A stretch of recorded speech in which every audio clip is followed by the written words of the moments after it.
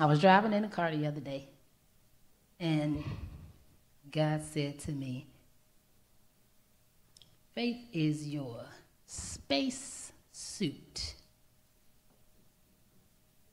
for earth. I said, What you say, Jesus? He said, It's your spacesuit. You can't live down here without it. He said, Because you're not from here. This is a different environment for the believer.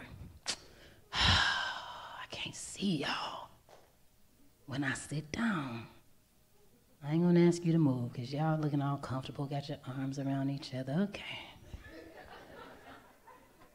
He said, It's your spacesuit. I'm like, Lord, you want to tell me that while I'm driving down the 10? He said, Yep.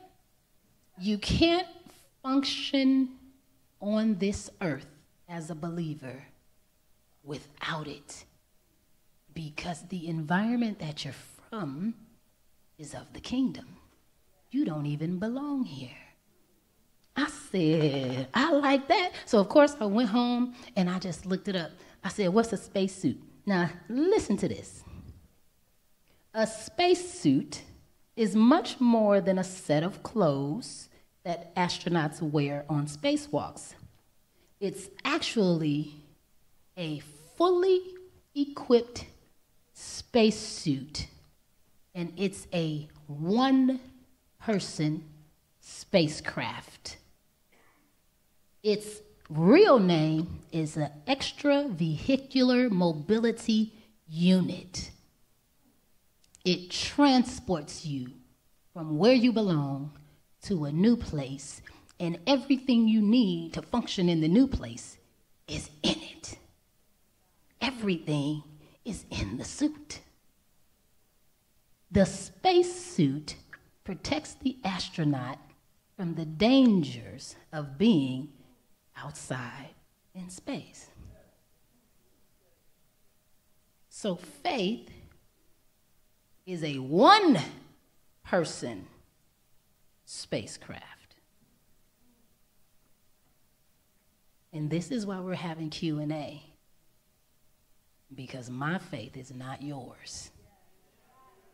You can't even fit in this mold because it wasn't built for you. You have your own individual